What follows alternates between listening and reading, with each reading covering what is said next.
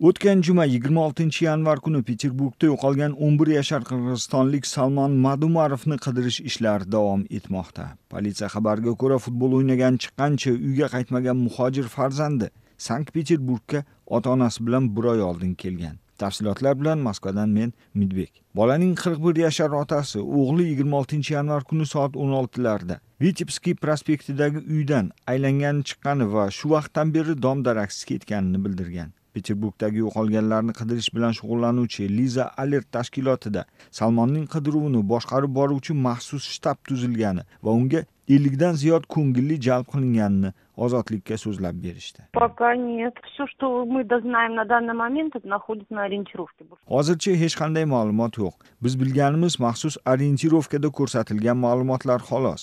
Qidiruv davom etmoqda bolani qidirishga qo'shilmoqchi bo'lganlar ko'magiga muhtojmiz. Moskva tumanidagi videoregistratorlar egalaridan yigirma oltinchi yanvar kuni soat o'n beshdan boshlab o'z kameralarini tekshirib ko'rishlarini iltimos qilamiz dedi ko'ngillilar tashkiloti rahbari natalya. Yo'qolib qolgan salmon madumarovning o'zbekiston vatandoshi ekani to'g'risidagi mahalliy axborot vositalarida tarqalgan ma'lumotlar o'z tasdig'ini topmadi. Millati o'zbek bo'lgan bola qirg'iziston vatandoshi ekanini politsiya ma'lum qildi. Politsiyadan olingan ma'lumotga ko'ra salmon madumarovning bo'yi bir yuz yigirma bir yuz o'ttiz santimetr atrofida. Oriqdan kelgan qora sochli ko'zlari jigarrang otasi salmon rossiyaga bir oy oldin kelgani va rus tilini mutlaqo bilmasligini aytmoqda. U kulrang kurtka qora to'qilgan shapka qizil sport shimi va kunji baland qora botinkada uydan chiqib ketgani ma'lum. Shuningdek ko'ngillilar madumarovlar yashaydigan uy yaqinida prospekt slavы temiryo'l platformasi borligi. Undan ketayotgan elektrichkalar leningrad qo'rg'oni va novgorod viloyati tomon harakatlanishini